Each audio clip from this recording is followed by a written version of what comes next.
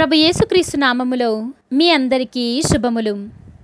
సామాన్య పదవ మంగళవారము. మొదటి పట్టణము అపోసుల కార్యములు. పదకొండవ అధ్యాయము ఇరవై ఒకటవ వచనము నుండి ఇరవై ఆరవ వచనం వరకు.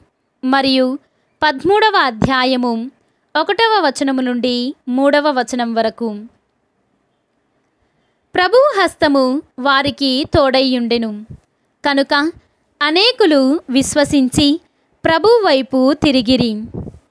ఈ వర్తమానము ఎరుషలేములోని క్రీస్తు సంగమునకు తెలిసి వారు బర్ణభాను అంతియోకియాకునకు పంపిరి. అతడు అక్కడకు వెళ్ళి దేవుని కృపను చూచి సంతసించి ప్రభువు ఎడల హృదయపూర్వకముగా విశ్వాసపాత్రులై ఉండుడని వారిని ప్రోత్సహించెను. ఈ బర్నబా మంచివాడు. అతడు పవిత్రాత్మతోనూ విశ్వాసముతోనూ నిండియుండెను. ప్రభువుని విశ్వసించు వారి సంఖ్య అధికమయ్యెను. పిదప బర్ణబా సౌలును వెదుగుటకై తార్సుకు వెళ్ళెను. అక్కడ అతడు సౌలును కనుగొని అతనికి అంత్యోకియాకు తీసుకొని వచ్చెను. ఒక ఏడాది వారిద్దరూ అతడి సంఘమును కలుసుకొని అనేకులకు బోధించిరి అంతియాకియోలోని శిష్యులు మొట్టమొదటిసారిగా క్రైస్తవులు అని పిలువబడిరి అంతియోకియాలోని క్రైస్తవ సంఘమున కొందరు ప్రవక్తలు బోధకులు ఉండిరి వారు ఎవరనగా? బర్నబా నిగేరు అని పిలువబడు చుండిన సిమియోను సిరేనియుడైన లూసియా పాలకుడగు హేరోదుతో కూడా పెంచబడిన మనాయేను సౌలు. వారు ప్రభువును సేవించుచు ఉపవాసము చేయుచుండగా పవిత్రాత్మ వారితో నేను నియమించిన పనికై భర్ణభాను సౌలును నా కొరకు ప్రత్యేకింపుడు అని పలికెను. వారు ఉపవాసము చేసి ప్రార్థించి వారిపై చేతులు ఉంచి వారిని పంపివేసిరి. ఇది ప్రభువాక్కు. సర్వేశ్వరునికి వందనములు.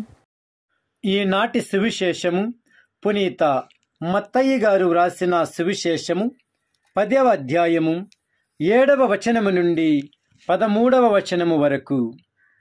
పరలోక రాజ్యము సమీపించినదని ప్రకటింపుడు. వ్యాధిగ్రస్తులను స్వస్థపరపుడు. మరణించిన వారిని జీవముతో లేపుడు. కుష్ఠరోగులను శుద్ధులను గావింపుడు దయ్యములను వెడలగొట్టుడు. మీరు ఉచితముగా పొందితిరి ఉచితముగానే వసగుడు. మీతో బంగారమును గాని వెండిని గాని రాగిని గాని కొనిపోవలదు. ప్రయాణమునకై సంచిని గాని రెండు అంగీలను గాని పాదరక్షలను గాని చేతి కర్రను గాని తీసుకొని పోవలదు. ఏలైనా పనివాడు తన భత్యమునకు అర్హుడు. ఏ పట్టణమును గాని ఏ పల్లెను గాని మీరు ప్రవేశించినప్పుడు అందు యోగ్యుడగు వానిని వెదుకుకొనుడు. అచ్చటి నుండి వెడలిపోవు వరకు వాని ఇంటనే ఉండుడు. మీరొక ఇంటిలోనికి ప్రవేశించినప్పుడు ఆ ఇంటిని దీవింపుడు. ఆ ఇంటివారు యోగ్యులైనా మీ దీవెనలు పొందుదురు. లేదేని మీ దీవెనలు మిమ్ము తిరిగి చేరును. ఇది క్రీస్తు సువిశేషము. క్రీస్తువా మీకు స్థుతి కలుగునుగాక.